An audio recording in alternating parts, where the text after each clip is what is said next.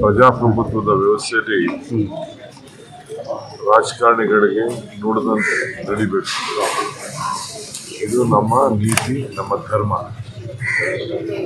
ನಾವು ಜನರ ಸೇವೆ ಮಾಡಲಿಕ್ಕೆ ಬಂದದ್ದು ನಾವೇನು ಮಾತಾಡ್ತೀವಿ ಮಾತನ್ನ ಉಳಿಸ್ಕೊಳ್ಬೇಕು. ಇದೇ ಬಸವಣ್ಣನ ಕಾಲದಿಂದ ನಮ್ಮ ರಾಜ್ಯದಲ್ಲಿ, ಇಡೀ ದೇಶದಲ್ಲಿ ಎಲ್ಲ ಧರ್ಮದ ನಾಯಕರುಗಳು ಇದನ್ನ ಪ್ರತಿಪಾದನೆ ಮಾಡ್ಕೊಂಡು ಬಂದಿದ್ದಾರೆ. ರಾಷ್ಟ್ರದ ಪ್ರಧಾನಮಂತ್ರಿಗಳಂತ ಮೋದಿ ಸಾಹೇಬರು ನಮಗೆ ಎರಡು ಲಕ್ಷ ಉದ್ಯೋಗ, ಎರಡು ಕೋಟಿ ಉದ್ಯೋಗವನ್ನು ಕೊಡಿಸ್ತೀವಿ ಅಂತ ಹೇಳಿದ್ರು. ಆದರೆ ಗೌರ್ಮೆಂಟ್ ಉದ್ಯೋಗ ಅಂತ ಪ್ರೈವೇಟ್ ಉದ್ಯೋಗ ಆದಾಗಿ ಜನರಿಗೆ ಅವಕಾಶಗಳನ್ನು ಮಾಡ್ತಾರೆ ಯಾರೋ ಒಬ್ಬ ಸಂಸ್ಥೆಯವನು ಖಾಸಗಿಯಾಗಿ ಅವನೇನೋ ಬಿಸ್ನೆಸ್ ಮಾಡೋಕ್ಕೆ ಉದ್ಯೋಗ ಮಾಡ್ತಾರೆ ಅಂತಲ್ಲ. ನೀವು ಪ್ರೇರಣೆ ಮಾಡಿ, ನೀವು ಪಾಲಿಸಿಗಳನ್ನ ಮಾಡಿ, ನೀವು ಉದ್ಯೋಗ ಮಾಡಿ ಕೊಡಿಸ್ಬೇಕು ಈಗ ಕೊರೋನಾ ಸಂದರ್ಭದಲ್ಲಿ ಎರಡು ಕೋಟಿ ಮೈನಸ್ ಆಗಿದೆ. ಎರಡು ಕೋಟಿ ಹೊಸ ಕೊಡೋದು, ಎರಡು ಕೋಟಿ ಮೈನಸ್ ಆಗಿದೆ.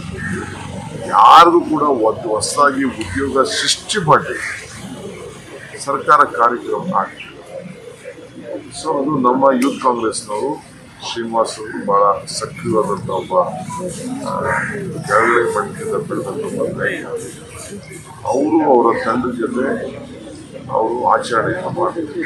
ಆದರೆ ತಪ್ಪೇನಿದೆ. ಅವ್ರ ಆಚರಣೆ ಏನಂತ ಅಂದರೆ ಅವರ ಹುಟ್ಟದಪ್ಪ ನಿರುದ್ಯೋಗಿಗಳ ಸೊ ಅವರೇನಾದ್ರು ಶುಭಾಶಯ ಹೇಳಬೇಕು ಅಂತಂದ್ರೆ ಯಾರು ಶುಭಾಶಯ ಹೇಳಬೇಕು?